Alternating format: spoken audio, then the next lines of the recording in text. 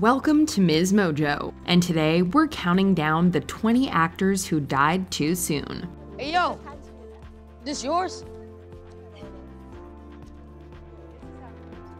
Who? Who are you?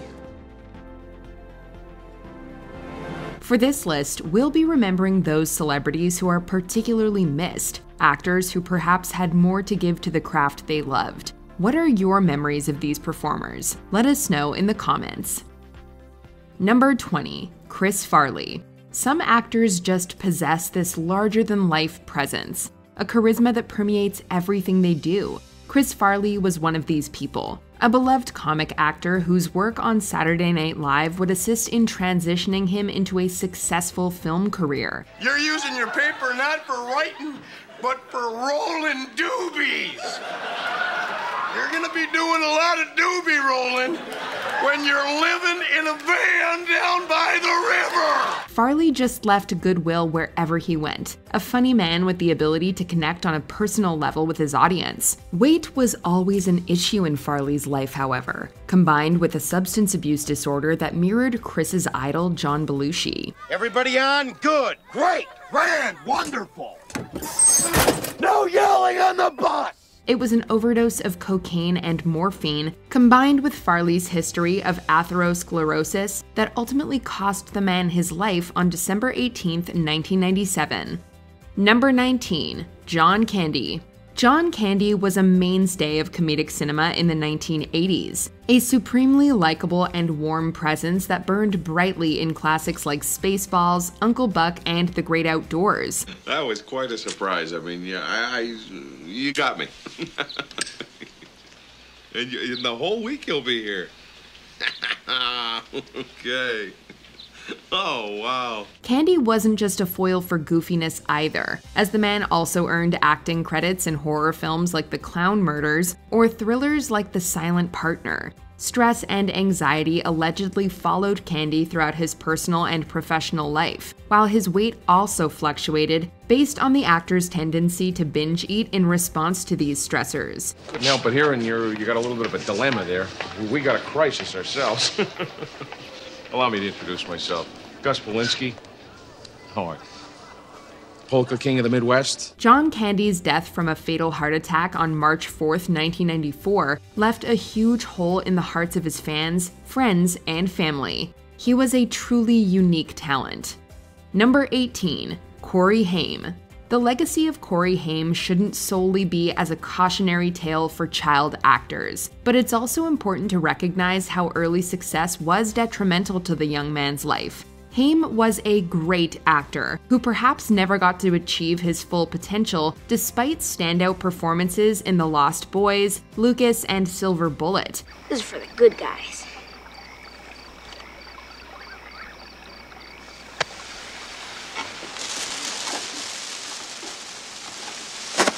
Corey was in and out of rehab over a dozen times throughout his life and had a contentious relationship with his frequent partner in cinematic crime, Corey Feldman. Get on. I'll drive you home. No way, man. Look, I have a driver's exam to take Saturday. I don't want to get killed. Les, your license is just as important to me as it is to you. I'll take it easy. Haim also claimed he was a victim of abuse as a younger actor. Corey died on March 10, 2010, the result of multiple factors, including pneumonia. Number 17, Naya Rivera. There have been a number of high profile deaths behind the scenes of the Fox series Glee. Naya Rivera was a member of this tragic club, a young actress whose death came as a true shock to her fans. Forever,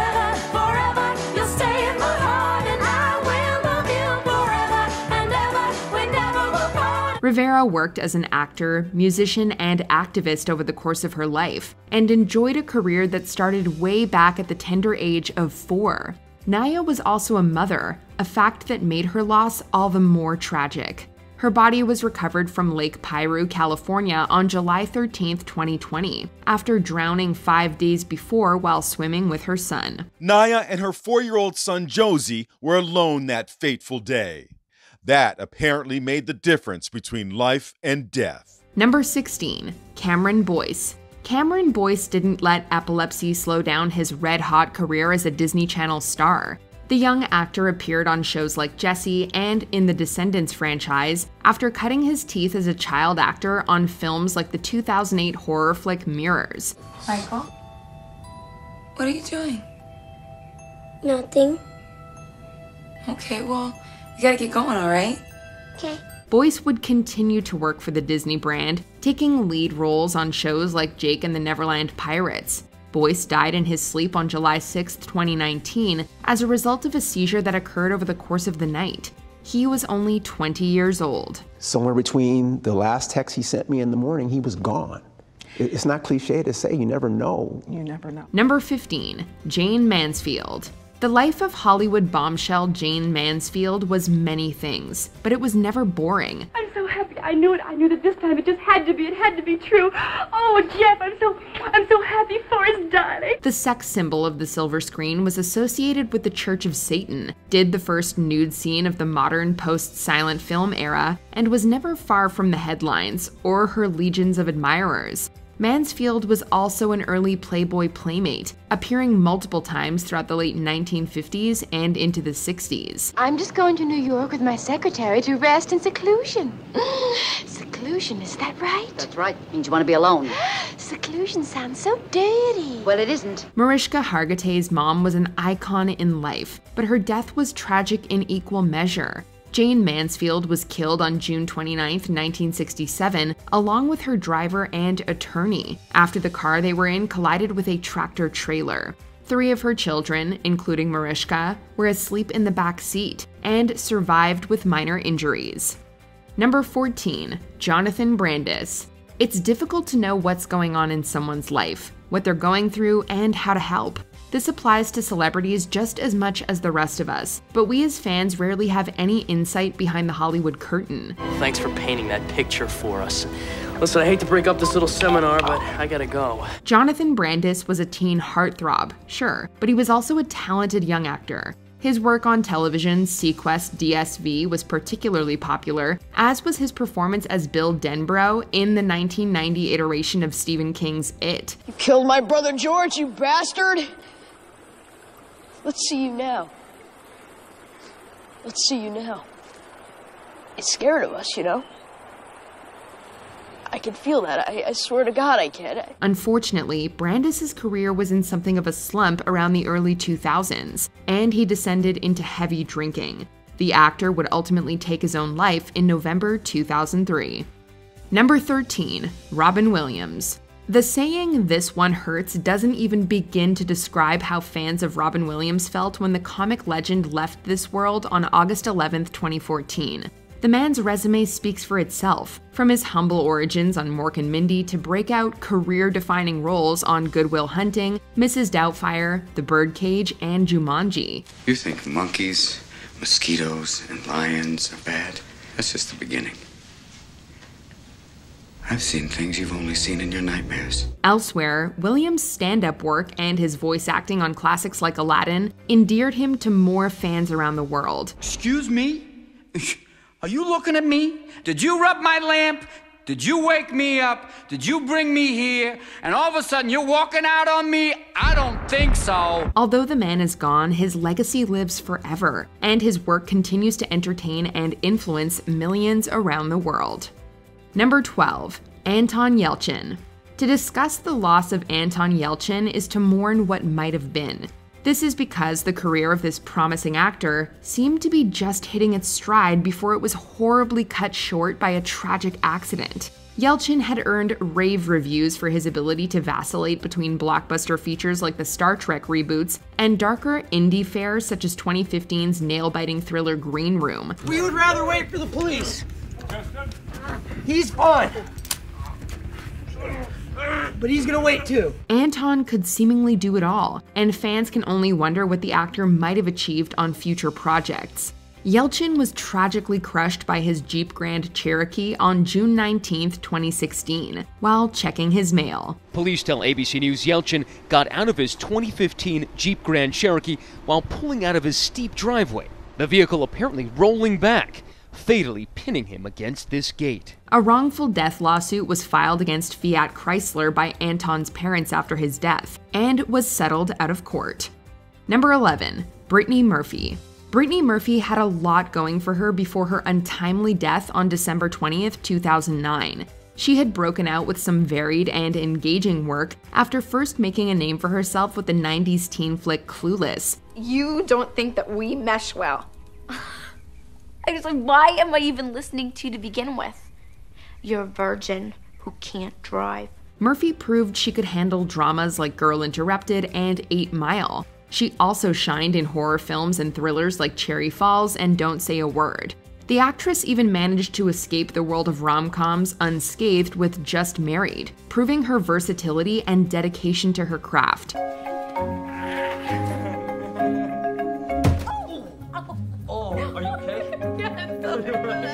Her death was shrouded in controversy, however, with disputes as to the actual nature of her demise contrasting the official record of pneumonia. Number 10. Paul Walker. The Fast and Furious franchise may have continued on after the untimely death of its star Paul Walker, but it never forgot the legacy Walker lent to those early entries. Brian Earl Spilner. Sounds like a serial killer name. Is that what you are? No, man. Don't come around here again. Hey, man, you know this is bullshit. Walker's movie star good looks belied an acting talent that worked well within big budget action movie parameters. The man's presence loomed large not only in the Fast and Furious movies, but also in more underrated roles, such as Walker's work in the 2006 film Running Scared. All right, Nick, listen to me. I want you to think really hard about where your friend might be right now because the others are looking for him. And if they find him first, I'm. Won't find the gun. What did you say? Sadly, the world never got to see what Paul Walker might have done on future projects, as the actor was involved in a fatal car accident on November 30th, 2013. Number 9. Sharon Tate. It's unfair to associate the legacy of Sharon Tate solely with that of the Manson family. This is not only due to the horrible crimes with which Manson and his gang were associated, but also Tate herself, who shone on the silver screen like the brightest burning star. I'm not disturbing you, am I? Not at all, not at all. I. I just don't know what to do with myself. I get so bored. You can't imagine how bored I get. The actress's beauty was undeniable, but it didn't define her, and Sharon Tate was equally adept at comedy, as well as performances that required her to do her own stunts. She even trained with the legendary Bruce Lee while working on the spy picture The Wrecking Crew. Mr. Helm? Yeah. Oh. Oh. oh. Ah. I'm Freya. Uh, welcome to Denmark, Mr. Helm. You always greet people like this? Sharon Tate may not have been able to achieve her full acting potential, but she'll always be remembered as an icon. Number 8. Marilyn Monroe. The level of talent present within Marilyn Monroe could actually be compared to that of Sharon Tate, since both actresses employed great comedic timing to offset their striking beauty. Monroe's legacy today as a Hollywood icon is secure thanks to her legions of fans around the world. You kind of like that song, don't you, Mrs. Lucas? There isn't any other song. Still, it's the mysterious circumstances of her death and the pain of knowing what might have been that still haunt many of those same people. We'll never know whether or not Marilyn Monroe would have broken through even further from the movie parts that went on to define her career, such as Some Like It Hot and The Seven Year Itch. Ooh, do you feel the breeze from the subway? Isn't it delicious? Her barbiturate overdose on August 4, 1962, remains one of the most contested celebrity deaths of all time. Number 7. James Dean. James Dean may be young and handsome forever, but this doesn't mean that his fans don't wish that the Hollywood legend could have achieved more throughout his too brief career. You forgave him because you threw a ring of his worth $3,000 into the river. That's right. And you forgave him? That's right. Dean was the epitome of teenage cool, a spirit of rebellion, and the refusal to compromise. For many, his role as Jim Stark in 1955's Rebel Without a Cause was a definitive one, a film that offered a more nuanced portrayal of teenage life. Every time you can't face yourself, you blame it on me. That is not true. You say it's because of me, you say it's because of the neighborhood. No. You use every other phony excuse. Mom, I just once I want to do something right. Dean didn't need to fall back on his rugged good looks to overcompensate for any lack of acting ability, as the Academy Award nominated thespian was able to emote with the best of his contemporaries. His car accident on September 30th, 1955, at only 24 years of age, robbed us of one of Hollywood's most promising talents. Number 6. Judith Barsi. You may not remember Judith Barsi's Hollywood headshots, but the odds are fairly good that you'll recall her voice, especially if you grew up in the 80s. Stay with me. Anne Marie. Huh? You asked my name. My name is Anne Marie. Yeah, sure. This is because Barsi worked on two of the decade's more successful animated children's features All Dogs Go to Heaven and The Land Before Time. Hello. I said hello. What is your name? Maybe you cannot talk yet. Barsi started acting when she was young and never looked back, appearing on television and earning small roles in movies like Jaws the Revenge. Her home life was tragically fraught with mistreatment at the hands of her father, however, and it was this trauma that ultimately led to the demise of Barsi and both her parents in 1988. Number 5. Bruce Lee. The career of Bruce Lee was poised to explode with commercial crossover success in 1973, thanks to the lightning rod that was his film Enter the Dragon.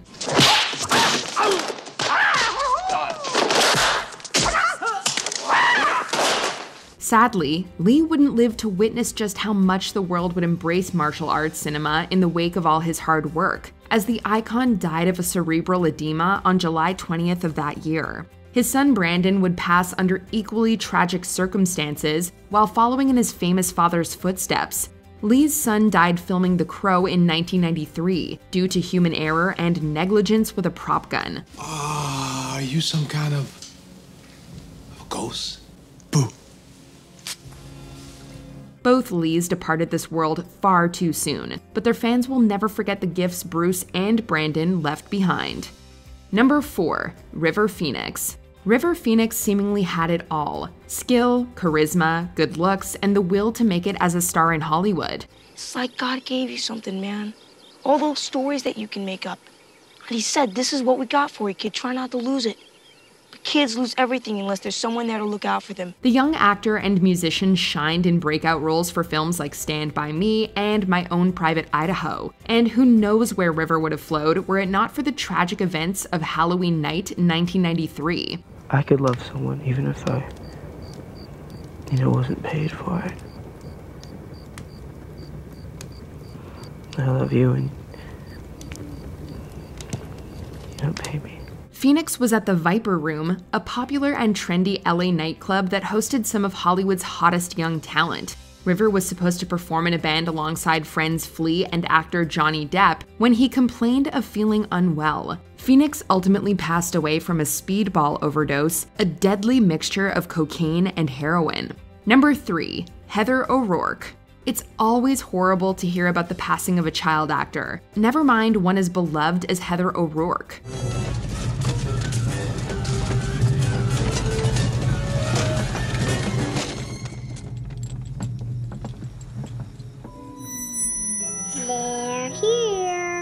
The charming young actress rose to prominence on the heels of a career defining performance as Carol Anne in the Poltergeist franchise. But O'Rourke also earned praise for her work on sitcoms like Happy Days and Webster. Webster, do you know what embarrass means?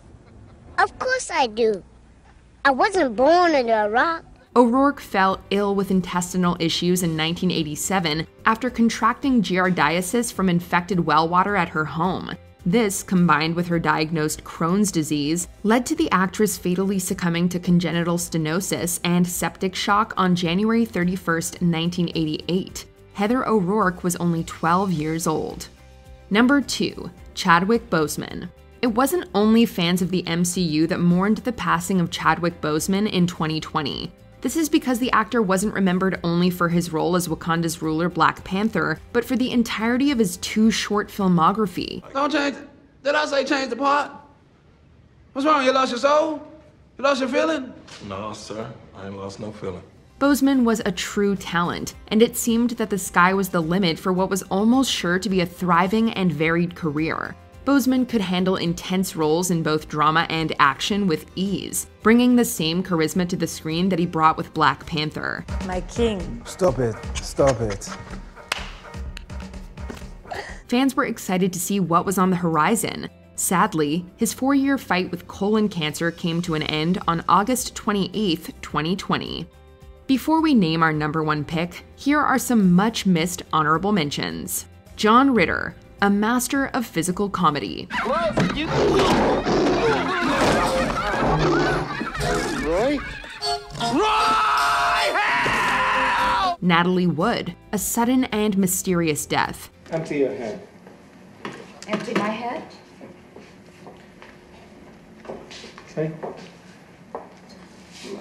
Rebecca Schaeffer. Her loss led to legislation targeting celebrity stalking.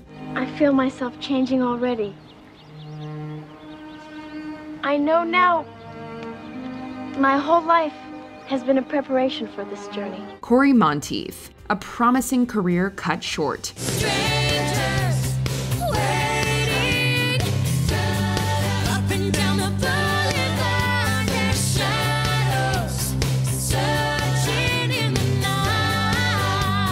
Dana Plato, a sad ending to a troubled life. Hi there.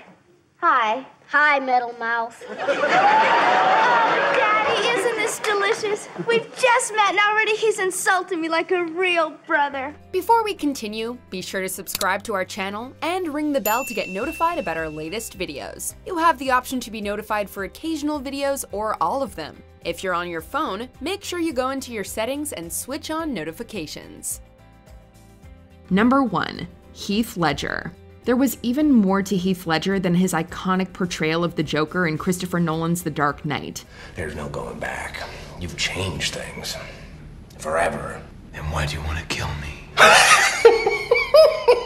I don't want to kill you. What would I do without you? The talented Aussie actor had already turned heads, with star making performances in films like A Knight's Tale, Ned Kelly, and Brokeback Mountain. With the Joker seemingly serving as just another step in Ledger's impressive evolution as an actor. Ledger dealt with his own personal demons, however, including insomnia, and it wasn't long before substance abuse disorder became an issue in the young man's life. Heath Ledger died on January 22, 2008, as a result of an acute combined drug intoxication of prescription medication. You're just too good to be true. Can't take my eyes off of you.